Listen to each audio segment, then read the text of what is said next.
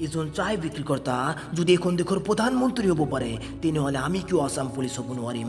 এজন মানুহ কেৱল পেট্ৰল পাম্পত কাম কৰি ইণ্ডিয়াৰ বেষ্ট বিজনেছমেন হ'ব পাৰে তেনেহ'লে আমি কিয় আছাম পুলিচ হ'ব নোৱাৰিম। হাইস্কুল বাস্কেটবল টীমৰ পৰা ওলাই দিয়াৰ পিছত পৃথিৱীৰ বেষ্ট বাস্কেটবল প্লেয়াৰ হ'ব পাৰে তেনেহ'লে আমি কিয় আছাম পুলিচ হ'ব নোৱাৰিম।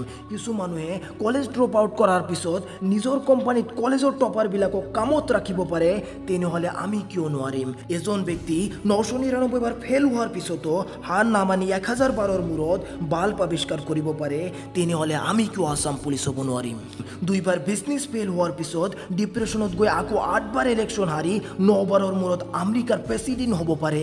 তেনেহ'লে আমি কিয় নোৱাৰিম? তুমি সকলো বস্তুৱে কৰিব পাৰিবা। তুমি সকলো বস্তুৱে কৰিব পাৰিবা। যিটো তুমি কৰিব বিচৰা আৰু তুমি যিটো সপোন দেখা এতিয়া য'ত আছা এইটো অতীতৰ কৰ্মৰ ফল। এতিয়া য'ত আছা এইটো অতীতৰ কৰ্মৰ ফল। কিন্তু ভৱিষ্যতত তুমি কি হ'বা এইটো আজিৰ কৰ্ম ডিচাইড কৰিব।